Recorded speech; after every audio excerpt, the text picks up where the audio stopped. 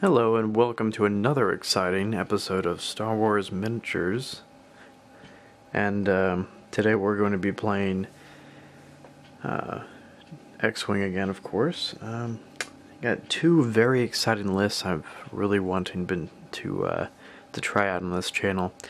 Um, one will be pretty uh, pretty well known to the people that know me in uh, real life. Um, the Imperial list that you see in front of you, uh, the four TIE interceptors, or TIE advanced ships, sorry. Um, I've played them in many tournaments, and uh, I've tweaked the list a little bit since then. Uh, but I have kind of a rebel version of that list that I want to verse them. Uh, so these lists are both uh, fairly similar, and I think they will be quite an interesting matchup um, to verse one another. Alright, first off, we have three three X-Wings versus four TIE Advanced ships. Uh, first, let's go along the advanced ships and see what they have. Uh, leading them, there is Darth Vader. Uh, kind of a given with the TIE Advanced. He's the best TIE Advanced pilot, pretty much hands down. Um, he has the new title, the TIE X1, uh, that allows him to take a sensor upgrade uh, with a 4 point reduction. And uh, so basically, he took a free accuracy corrector because it's only 3 points, so uh, doesn't cost him anything. And he has a twin ion engine Mach 2 upgrade modification. And uh, what that is, is it's going to give him a lot more green maneuvers. All of his slight turn maneuvers are thus green. And uh, then I gave him Swarm Tactics to share his 9 pilot ability, not pilot skill. And uh, down to uh, Lieutenant Colzet. Um, oh, also to remember uh, Vader's pilot ability in case uh, no one's familiar with him. Um, allows him to take two actions uh, when he would normally take one, you know, on his action step of his turn. Uh, next up, it's Lieutenant Colzet. He's a three pilot skill. Um, his pilot ability is pretty interesting. It's uh, at the start of the end phase, he can spend a target lock that he has on an opponent to randomly choose one of their damage cards and uh, one of their face down damage cards and flip it face up. Um, I personally like this ability. I think it's pretty neat, and uh, I've used this list, in, this list in a tournament, as I have said before, and let me just say I have killed the ships with his pilot ability in tournaments before, so I thought he was pretty neat. I gave him I gave him the TIE X1 uh, title again, and uh, free accuracy corrector, and uh, the twin ion uh, modification. So then, uh, moving on to the next ship, we have a four pilot skill generic Storm Squadron pilot. All it has is the uh, the title and the free accuracy corrector. And then moving on to the last one, got a two pilot skill Tempest, uh, generic with the uh, free accuracy corrector title, with the title. moving on to the Rebel list, it gets a little more interesting. Uh, this entire list is very dependent upon each other um, yeah, trying to make it not too situational, but I mean it is situational in the sense that if one of them dies, or uh, more specifically, if Wes dies, they're uh, in deep trouble. Um, Wes Janson has the pilot ability after you perform an attack. You may remove one focus, evade, or blue target lock uh, token from the defender. He's an 8 pilot skill, but I boosted him to 10 with Veteran Instincts. And then I put uh, the Stress Bot, as he's known, R3A2, that allows uh, the attacker, when they uh, are attacking an opponent that is inside their firing arc, at range 1 through 3, they may choose to receive a stress token to give that person, that ship, a stress token. So he's known as the stress bot, and that's if he does not have any stress. Oh, wait, that's not true.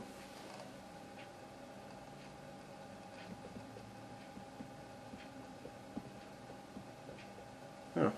So much of that's nonsense. There is no range restriction as well. Alright, and uh, moved on to Wedge Antilles. Um, he's a 9 pilot skill. His pilot ability is. Um, when he is attacking, the opponent's agility is considered reduced by 1 uh, to minimum of 0. And uh, I gave him the R2 Astromech, which means all 1 and 2 straight maneuvers are green.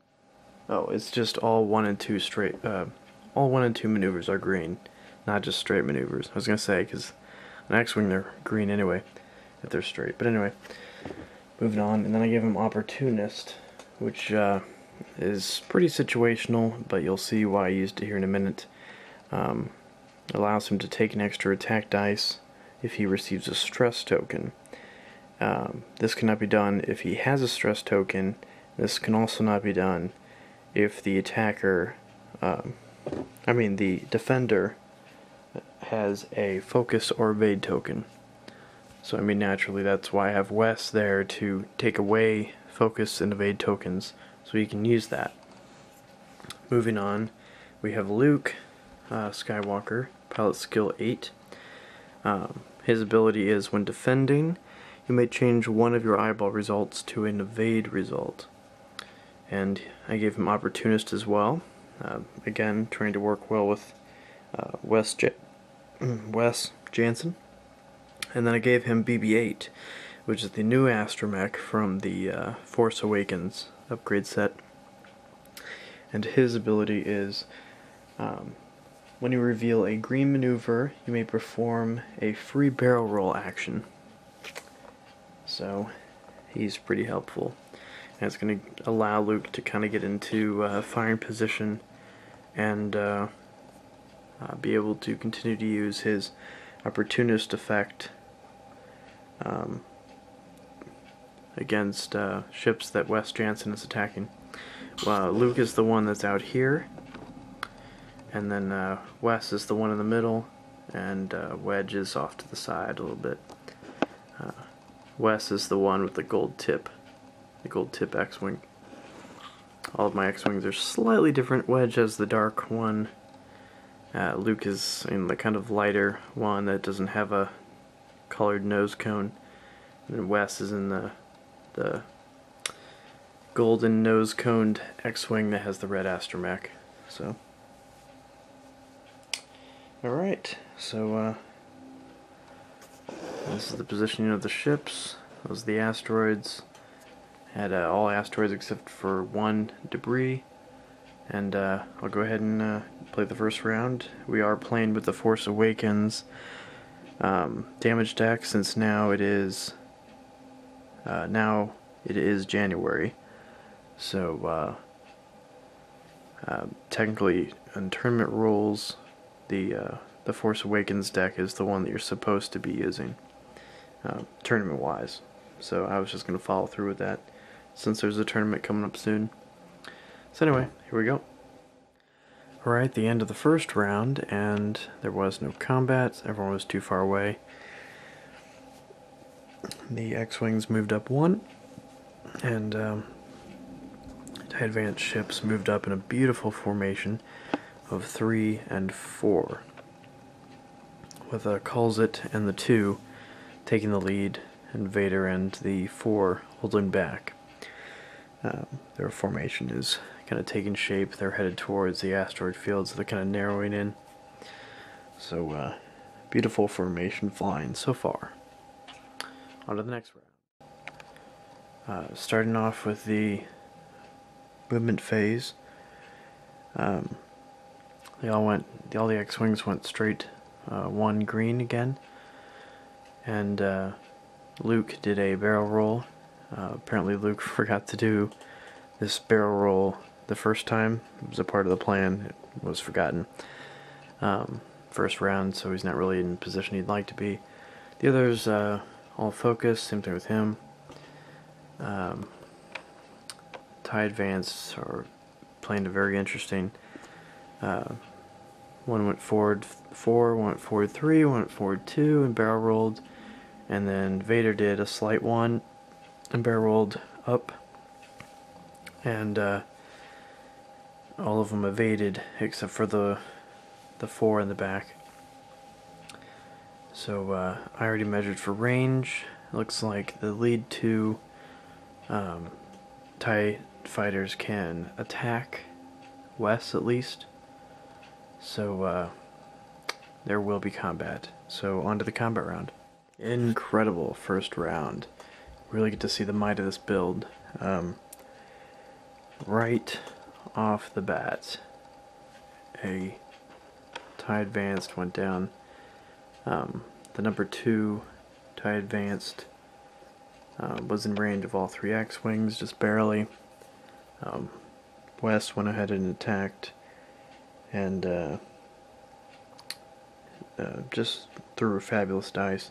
All all three X-Wings. I've literally never rolled so good.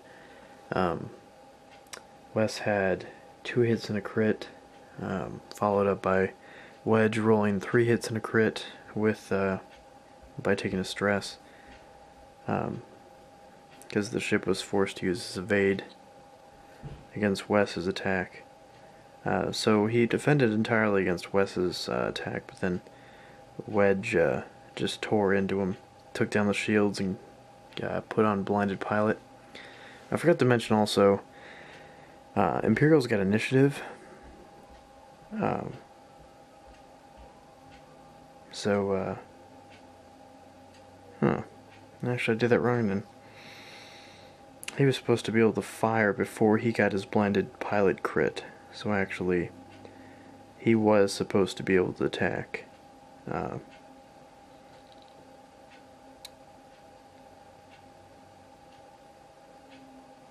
he was supposed to be able to attack Wes.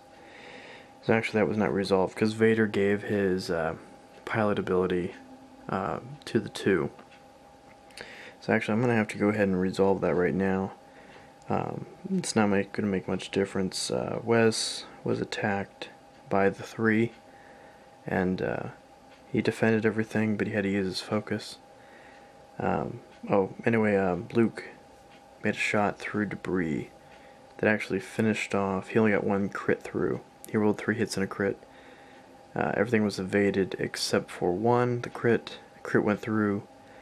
Uh, direct hit, two damage. That finished off the Tempest.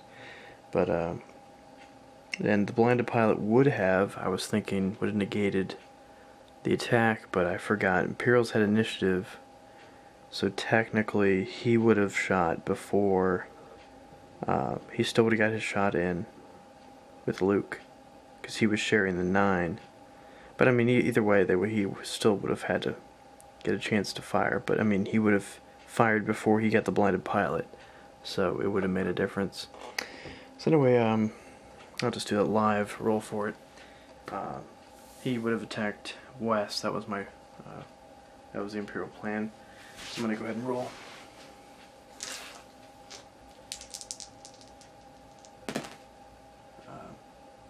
Just one hit, but accuracy corrector makes two. Um, Wes uh, has three dice, range three. No uh, focus, so one evade would have been one shield. So actually Wes lost one shield. Alright, so Wes is down one shield, and the Imperials are down one ship. The other ships are immaculate, but uh, it's not looking good for the Imperials. Alright, uh, on to move. Alright, this is the turn that we've been waiting for. This is the turn that will decide the game, pretty much. Um, both squads have formed up against one another. Um, they're toe to toe. Um, Luke has continued to barrel roll over to kind of get behind them. And uh, some daring flying there by the three pilots killed Lieutenant Colzet, my personal favorite pilot. Uh, just because I think he's really underrated. Um, anyway, um, he moved up, uh, I think it was a two slight, uh, and in a ballsy move, did a target lock on Wes Janson. Um, followed up by the 4, did a 2 straight and evade. And then Vader did a super ballsy uh, 3 slight, narrowly missing the asteroid and narrowly stopping right in front of Colzet. Um, some quite impressive flying. And he focused and evaded. Uh, Wes and Wedge just moved up one straight along with Luke. Luke Bear rolled over with BB-8. So uh, they all have focus tokens. So uh, on to combat. Um, Wes Janson will be shooting first. Um, I think uh, Vader is going to be the obvious choice. He's going to be in range 2 is the only thing. Wes gets range 1 if he attacks the 3. Lieutenant Colzet, but uh, it doesn't matter. It would be range 2 regardless of whether or not the other one's attacked uh, Vader or Colzet. So he's going to go with Vader. Just logically, it seems like. Because really, he's just there to strip away tokens for the other guys to use an insane amount of dice. And uh, Vader declared, by the way, um, he's given his pilot skill of 9. He's sharing it with uh, Colzet this round. So Colzet is also a 9. So the order will be Wes will fire, and then Vader and Kulzit will fire, and then Wedge, then Luke, and then the 4. So uh, Vader may die if uh, the X-Wings are able to focus fire on him, strip away his tokens, and take him down. But uh, it will really depend on Wes's attack. If Wes can force Vader to use one of his tokens, then Wes will be able to take away his other token after the fact. And uh, it is going to be hard. He's he can stress Vader, but it will be hard for to keep him from getting rid of that since he has that modification engine upgrade where he's gonna have a bunch of green maneuvers. So uh, anyway, on to the move or on to the combat. As promised, a very exciting round, more so than I even anticipated. There are now two tie advance left, but oh, so much happened. Um, Wes attacked Vader first. Um, I believe he did not do any damage, forced Vader to use one of his tokens to avoid the damage, and then he stripped out the other one afterwards uh, with his pilot ability, and he also gave Vader a stress, not that it mattered. And then uh, Vader followed up and failed to attack Wes. Um, then Colzet attacked Wes, range 1, failed to hit him as well. Uh, Luke did a four dice attack on Vader, uh, knocked down his shields, uh, got four hits on him essentially. Uh, two shields, two damage, and then uh, Luke got four dice on him, uh, and just finished him off. And then, in a crude, surprising end, the four pilot skill tie advanced back there. Um, rolled nothing. Used accuracy corrector against Wedge or uh, Wes. Um, got got those two hits to go through because Wes rolled nothing, and uh, took the last shield. Did one hull damage, and then in the end phase, at the start of the end phase, uh, Lieutenant Colzet uses special ability, uh, spent his target lock to flip over that damage, it was a direct hit, so Wes is down to one hull. And uh, if he dies, I mean, the others are still very formidable, but without him stripping tokens, uh, the other ships can simply evade, and that will negate uh, the prime advantage that the other X-Wings have enjoyed. Because only together have they been able to take down an enemy ship every turn it has always come down to the final shot from wet, uh, from Luke after the other two have fired uh, that has brought down a ship. well, without one of them, uh, I mean, chief of chief among them being Wes, the one that's enabling, you know, doing that token stripping, that's enabling them to use the extra dice. Uh, the rebels won't have their advantage anymore, and Lieutenant Colzet leading the four pilot skill might be able to do some serious damage. So uh, here's the movement. This is going to be an interesting combat round because in the movement round um, there was a lot of bumping. Uh, it moved a slight one uh, to try to get him a blocking maneuver. However, he didn't block Wedge. Wedge actually moved out to the side, which worked even better for Colzet because now he's right on his tail. And, uh, I mean, that's a hard thing to do for a lower pilot skill to get behind a higher pilot skill, but it happened. And, uh, Wes Janson just moved one. Uh, the X-Wings were going to K-turn, but um, I think the plan was to K-turn anyway, but I think they didn't realize that, hey, we're all stressed because we used our combat abilities. so uh, they had to go ahead and uh, do a green maneuver. Now, Wedge was able to do that to slight green uh, because of his astromech. So, uh, but he did end up colliding with that asteroid and took damage, so he lost his first shield. Um, the four end up hitting the debris over here, and uh, he took damage as well, lost a shield. Uh, Wes target locked that same TIE advanced, the wounded one, the four, and uh, uh, it target locked Wedge. You can see over there, and uh, Luke collided with the four, doing a one straight also landing on the debris. Did not take damage though. So on to combat, it looks like Colzet is the only one that's going to get a shot since the other ones are touching. And uh, it's range one. Even though there was only one ship firing, that was so epic. I should have just recorded it. Uh, the Colzet Beast, the Colzet train, uh, did some serious damage to Wedge. Uh, range 1 attack, rolled 3 hits. Uh, Wedge got 1 evade and uh, took 2 damage, which is 1 shield, 1 hull. And uh, then the Lieutenant Colzet, who had a target lock on him in the end phase, uh, spent it and uh, got him a crit. That crit was Stunned Pilot.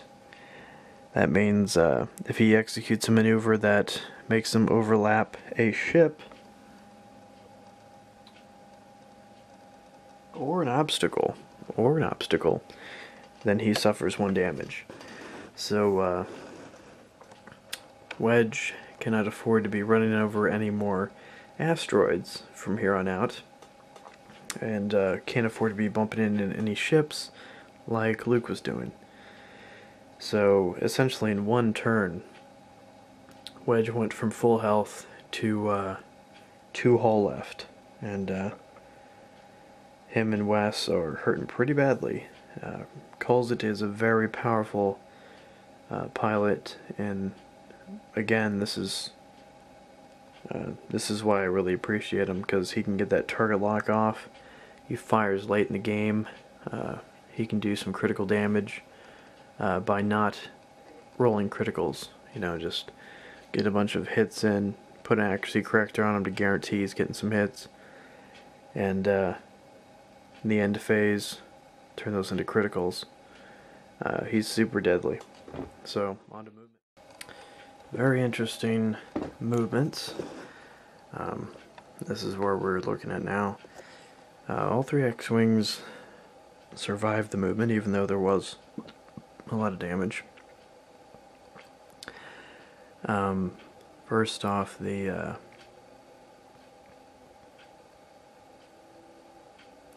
uh, first off, the TIE Advanced uh, moved, both of them. Uh, the four went down here. Lieutenant Colzet, clipped the asteroid, uh, did a three hard, um, got one damage, uh, his first shield loss, and more importantly, he got right in uh, Wedge's way. Wedge to the 4K. Uh, his template passed over through a ship.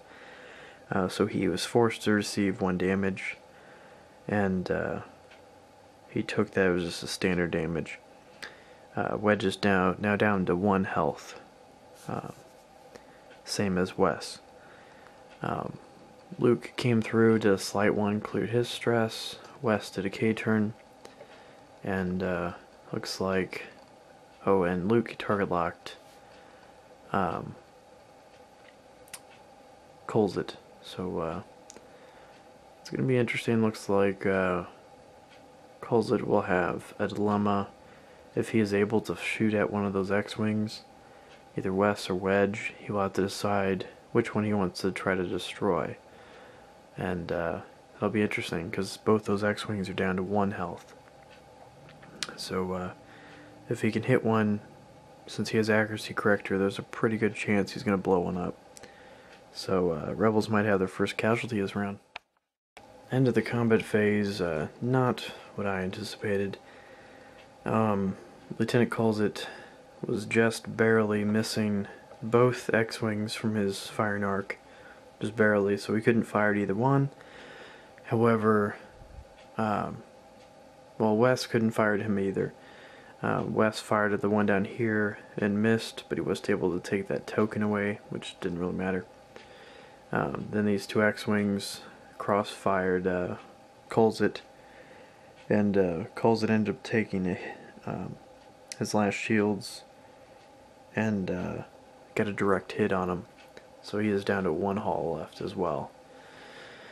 So this is going to be a very, a very, very interesting round.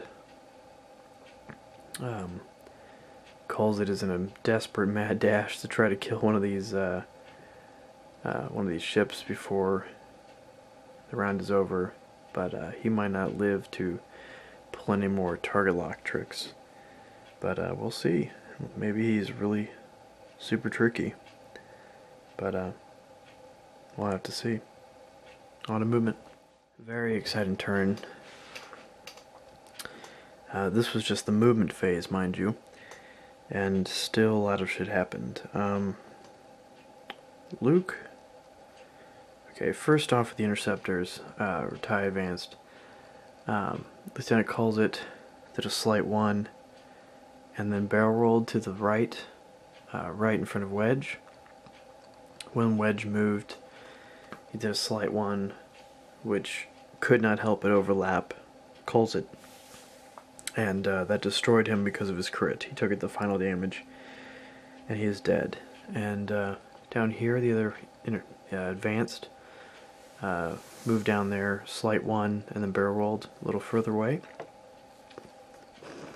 Luke moved this way, thinking uh, would be over here, um, be moving that way, but he actually uh, went the opposite way and then barrel rolled again the opposite way.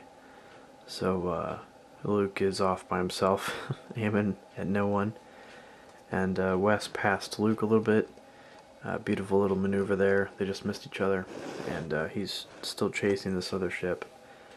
So uh, we're down to Luke that has full health, uh, Wes that has one hull, uh, Lieutenant Colzet that has one hull, and uh, the four pilot skill TIE Advanced that has three hull, one shield. Um, so I would give slight favor right now to the rebels for sure, but uh, no one really knows. Oh, and Luke has a target lock on Colzet, so. Uh, looks like, let me see if there's even going to be any combat.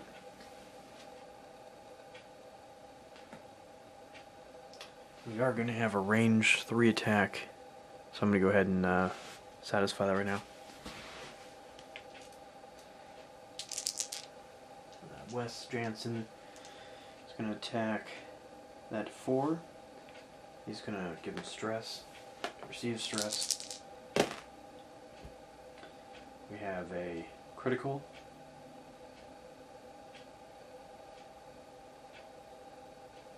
I didn't give him an action, did I? Ah, oh no, he was stressed. He couldn't do an action. Alright, range 3. Evaded it. So, no damage on to movement. Alright, so this is going to be an interesting combat round. Um, so far in the movement, we had uh, Colzet, do it two hard, and then a barrel roll uh, to kind of start his turn. And then we had the four say, yeah, forget about, he was tired of running, forget about clearing the stress. He just did two hard white, and uh, he knows he doesn't get an action, but he knows going toe to toe with the next swing, the X wing is not going to get any actions either. Um, so they're going to be facing off uh, Wedge, I mean Luke, did it two hard around that asteroid. Uh, he has a target lock and Colzet and focused up. He's going to be able to shoot, uh, so that may be the end of calls it. Uh, this is going to be an interesting combat round. Really want to see what happens. This could be the end of Wes Janson though. Because uh, Wes by himself, I'd, I'm going to go ahead and say there's no way he can kill that TIE Advanced. And that TIE Advanced only needs one hit. Uh, and he has accuracy corrector, so Wes is pretty much dead, I think, this turn, but I think Colzet is pretty much dead too. So, uh, it'll be interesting. Close, close game. Um, right at the bat, Wes fired at this ship, missed. Luke fired at Colzet and destroyed him, completely blew him away. Um, he just opened up on him. He didn't have any tokens, so he was able to use uh, an extra combat dice with uh, a stress token. And uh, he basically rolled all eyeballs, and then he spent his focus to turn them all to hits. And uh, Colzet was at range three. I got four dice and didn't roll a single, uh, a single uh, evade. He did roll all eyeballs, so if he had had a focus, uh, he would have lived. But uh, then again, if he had had the focus, you know, Luke wouldn't have been able to use uh, opportunist. So, um.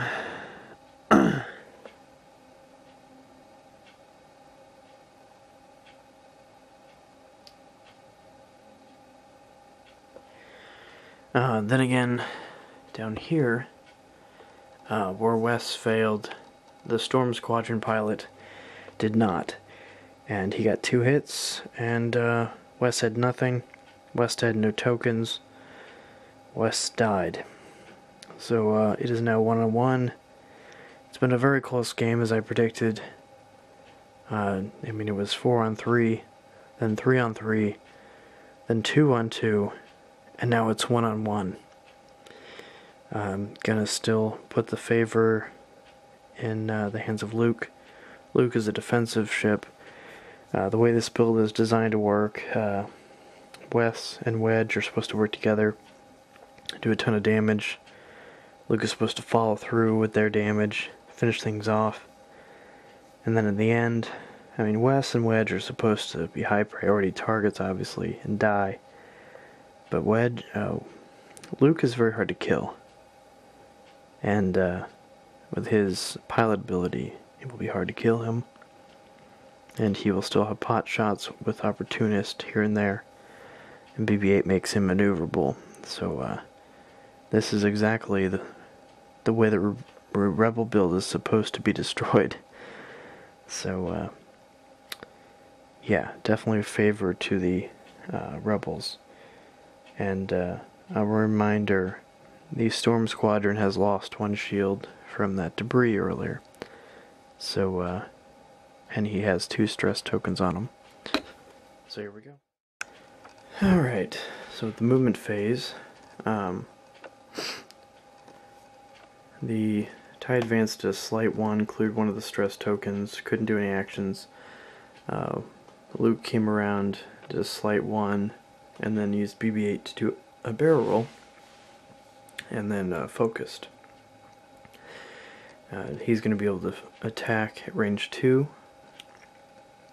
and it looks like the front no no he's still going to be obstructed it looks like um, looking from up here a little off from the camera looks like attack is still going to be obstructed but uh, he's going to be able to uh, take a stress and use that extra um, that extra dice since the TIE Advance doesn't have any tokens. So, uh, I'm just going to go ahead and do that now. Range to attack. Oh, uh, stress token.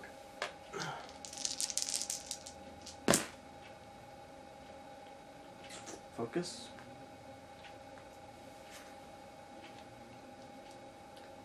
Range 3, or range 2 through an asteroid. 4 dice.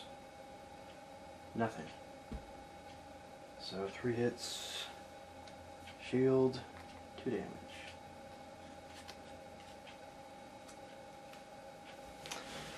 So now, uh, the Storm Squadron is now down to one hull. And, uh, Luke is still at full. So, uh, it's looking like it's pretty decided who's going to win.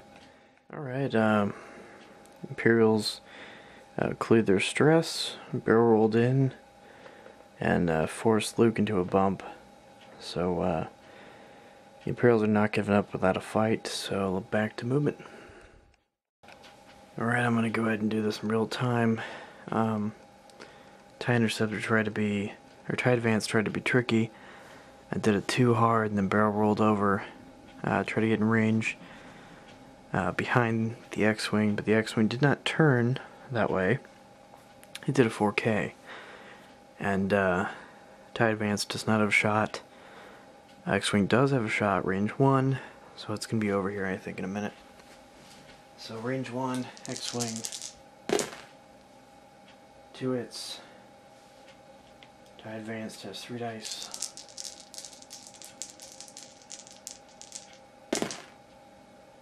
Uh, one of eight. One hit goes through. That's the game.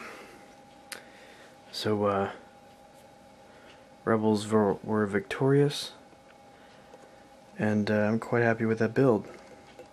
It's a uh, tournament build I called my Rebel Aces build. It's my X-Wing Aces, whatever. Uh, the Colzet train was stopped, and I think that was uh, quite a big deal.